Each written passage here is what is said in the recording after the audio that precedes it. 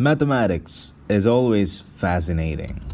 ഭൂഗോളത്തിന്റെ ഓരോ സ്പന്ദനവും കണക്കിലാണ് without mathematics ഭൂമി വെറും ഒരു വട്ട പൂജ്യം Let's find out some of the interesting problems in maths. Welcome to Mathamaze.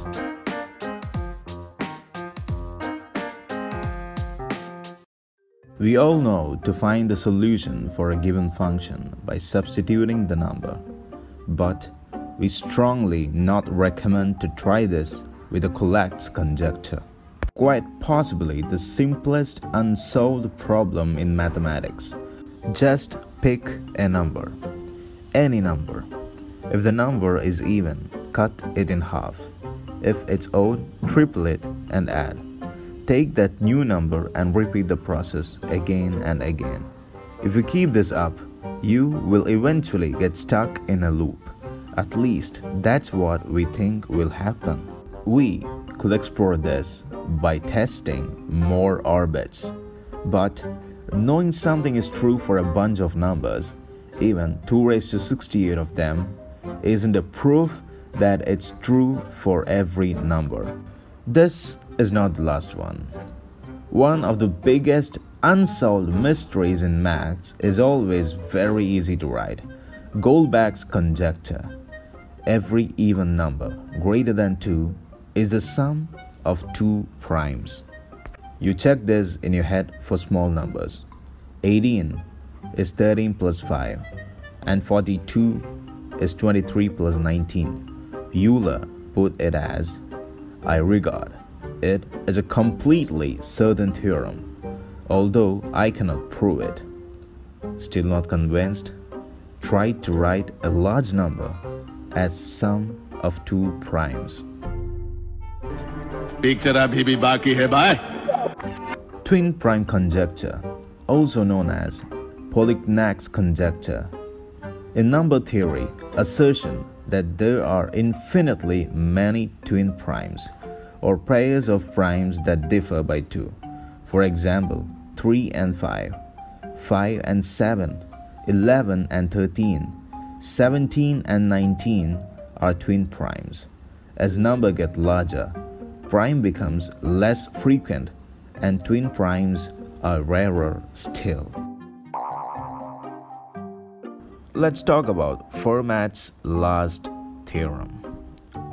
Well, don't worry, this is already solved. So before diving into it, let's hear a small story. Once upon a time, there was a legend named Fermat. He had a weird character. He used to write theorem, but always finds a lame excuse, like he has to milk his cow, I mean, to not give it solution.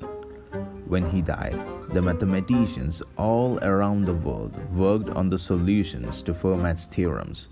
All of the solutions were found except one. That is known as the Fermat's last theorem. In number theory, Fermat's last theorem states that no three positive integers a, b, and c satisfy the equation a raised to n plus b raised to n is equal to c raised to n.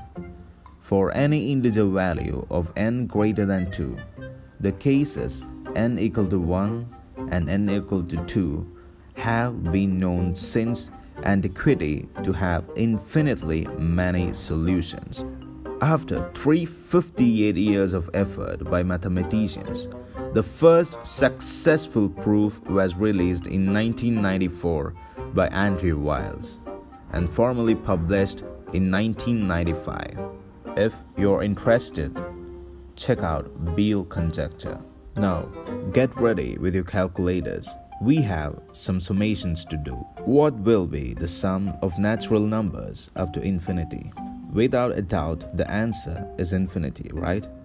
But what if we say it is a finite number, that too, a fraction?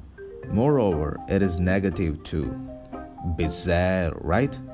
The sum of natural number up to infinity is in fact minus 1 by 12. And the most strange part is that it is used in theoretical physics to prove and model things such as string theory, Yes, you heard it right. This summation is called Ramanujan's summation.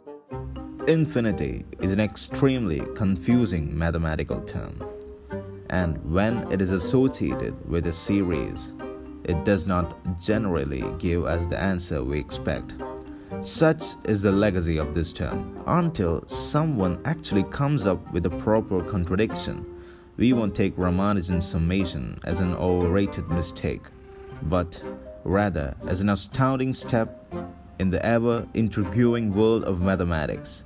Not only sum of natural number, take a look at this. Apart from Ramanujan, another notable mathematician is Riemann, who contributed towards this. Talking about Riemann, he put forward a hypothesis which, if we could solve, will create wonders and outbreaks in mathematics. In real life, creating a problem may be easy, but finding a solution for it is not so easy.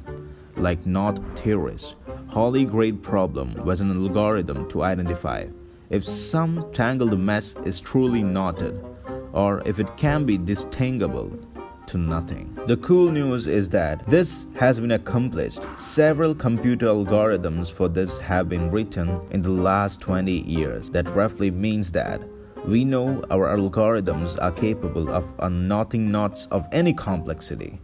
But that as they get more complicated, it starts to take an impossibly long time.